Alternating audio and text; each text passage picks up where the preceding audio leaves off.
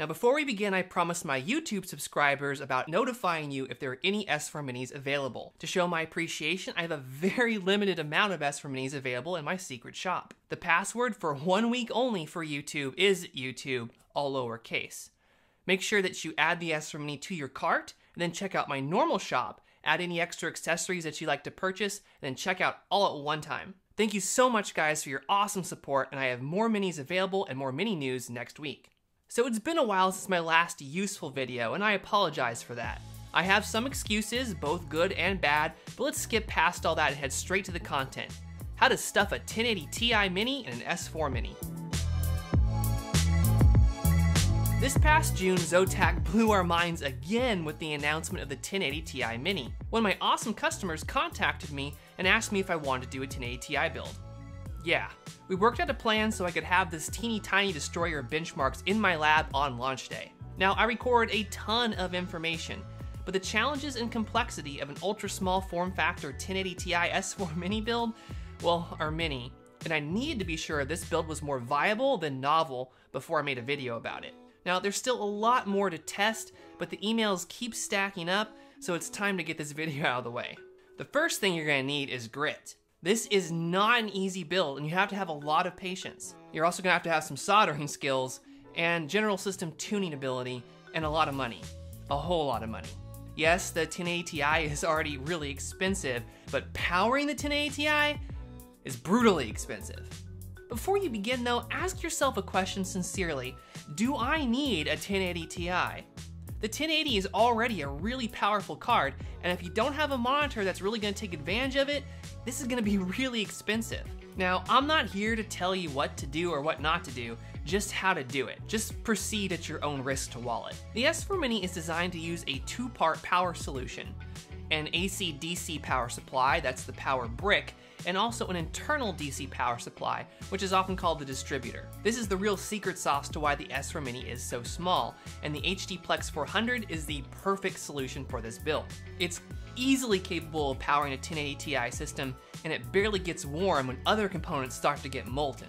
Unfortunately, the tried and true Dell 330 watt power brick is just not gonna cut it here. Now the only option I knew would probably work is the Eurocom 780.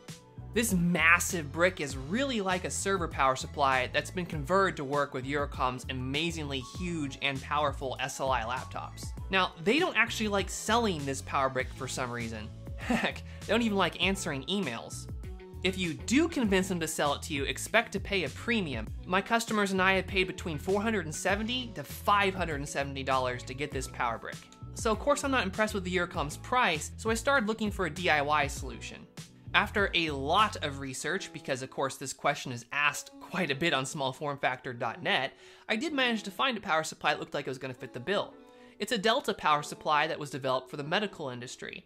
Its 400 watt output, 19 volt solution, that looked like it was gonna be just perfect with a little TLC. Initially, I found this on Mouser Electronics, but it actually is available on Amazon now for under 130 bucks. Now, both power supplies are gonna require some modding and soldering. I chose to use aviation connectors, which are my go-to for power mods, and I purchased some extras to put on my website for customer convenience. Be warned, it is not easy to mod the Eurocom's extremely beefy cable, but it is possible. I chose to strip back a good 3 inches and carefully soldered the connectors on. I used gaffer's tape to make up the thickness of the stripped insulation and heat shrink to cover over it. The result is a connector that's strong and looks at least okay.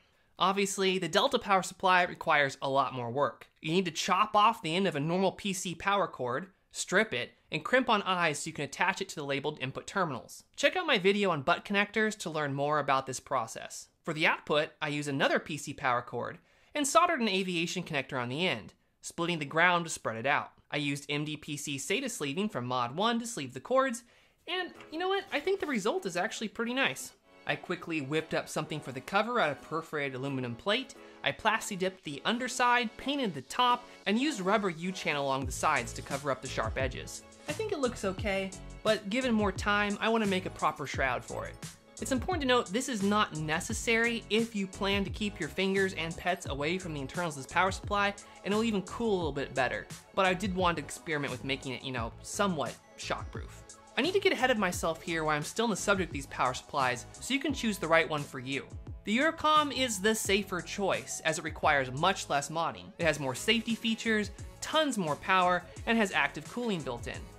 The downsides are that it's brutally expensive, it's hard to buy, and very loud.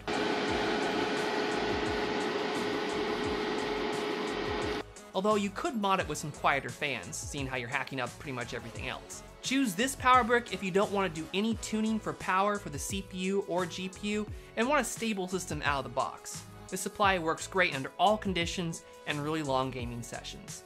I'm hesitant to recommend the Delta 400 because I don't want to get sued. It can get brutally hot and possibly could cause a fire. I'm not actually sure it has a temperature monitor, although you could look that up in its spec sheet. I was able to power a 7700K and the 1080 Ti off of it for a really long time, almost a month, and I had very few resets. But the resets were there, and they could be pushed instantaneously by loading up Furmark and Prime 95. This means the power supply is just strong enough to power this combo, and you're probably going to need to put some active power controls on your CPU and your GPU. This is where the tuning is going to come in handy. You might be able to get around this by going with a lower wattage CPU, and although the 1080 Ti is an absolute beast, I do find there are lots of 35 watt CPUs which aren't going to bottleneck this card. If you were going to choose a Delta 400, I do recommend that you wire up some active cooling. It does have some fan header spots inside the power supply. For all its faults, the Delta 400 is an economical, fully functional choice. But seriously guys, be responsible. Do not endanger yourself or others by filling with electronics that you don't understand. That's my job. And if it helps you make a decision, for my customers, I am not going to be using this brick. I'm going to be recommending the Eurocom 780. But for myself and my mods, I'm going to be using the Delta 400. Okay, so now that your power supply is all wired up and your HDPlex 400's DC jack has been wired to match, and of course you've thoroughly tested your new system, it's time to put it all together. The only way that you're going to be able to accomplish this is by disassembling the entire S4 Mini. First take off the outer panels, then the bezel, and then separate the inner chassis into two pieces. Take your PCIe power cable and plug it into your 1080 Ti, install the 1080 Ti into the back half of the back chassis, and then you can sandwich the two panels of the chassis together. This is necessary because the 1080 Ti has two 8-pin connectors, and there's just no possible way that you can install it in the S4 Mini without fully disassembling it. The final thing that you're gonna know is that you're gonna need an aftermarket bezel to install this card because it is oversized. okay, so this is a little strange. Most of us assumed that the 1080 Ti Mini was gonna be the same length as the Zotac 1080 Mini. And this was a good assumption. Pictures put it out as looking the same and many reviews said it was the same length but actually getting it into my office and sticking into an S4 Mini, I found that the early models were actually a little bit longer, like almost a millimeter longer. Oh. Now, this of course is negligible in most builds, but if you're sticking an S4 Mini, every millimeter counts. And this meant that the 3D bezels I sell on my website actually weren't going to be compatible with it. Some other early adopters on the smallformfactor.net forums also noticed this, so I went to work creating another bezel set specific for the 1080 Ti Mini. You can find this on my website labeled the 2D open bezel and the full vent plate in carbon fiber. But then something strange happened. I started doing more of these builds and the cards seemed to get smaller and be the exact same size as the Zotac 1080. I don't know if it actually shrunk, but if for some reason it works with a lot of the 3D bezels, in fact all the 3D bezels I have in my office, and lots of my customers on the smallformfactor.net forums that have the new 1080 Ti minis are actually using my 3D bezels with it. So I don't know what to take away from this. I would say that the 3D bezels are not officially compatible with it, but they might fit. But you probably want to go with my new kit that's designed specifically for it. The last stage of your journey is going to be tuning. If you sprung for the Eurocom 780, you're not going to have to mess with any power limiters or undervolting, but you're still going to have to worry about heat and fan noise. Although the S4 Mini can vent better than any chassis well above its size class, the 1080 Ti is a very hot card and would benefit from extra fan flow. I spent almost 80 hours on pure thermal testing. In an 80 degree Fahrenheit room with no extra airflow over the S4 Mini, but it was elevated, the GPU's fan control did a really good job, keeping the clock rate around 1800 MHz and the target throttle temp at 84 degrees Celsius. I used a plethora of synthetics, but a lot of PUBG for the real world tests, as that's the most popular game right now amongst my customers. And maybe me. Maybe I maybe I played a little bit of it. I got a chicken dinner. I got a chicken really impressed that the GPU was able to keep such a high clock rate despite the really, really molten heat.